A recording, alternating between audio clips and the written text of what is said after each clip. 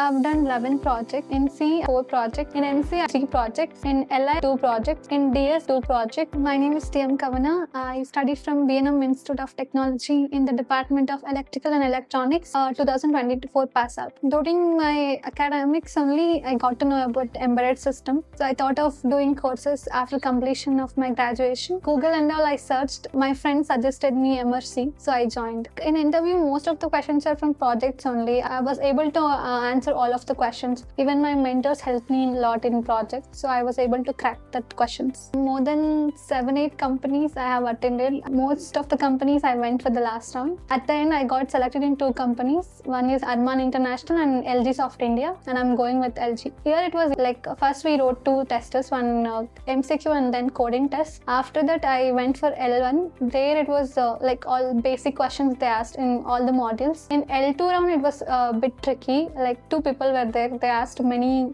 programming questions, real-time applications, and all basic questions. Last round, it was quite easy compared to other two rounds. Overall, it was easy. All the staffs are very supportive, especially mentors and lab mentors. The teaching is also good here. And thanks to Emertxe and all my mentors and lab mentors keep practicing, uh, give importance to LeetCode, HackerRank, uh, because companies are asking this, don't lose hope.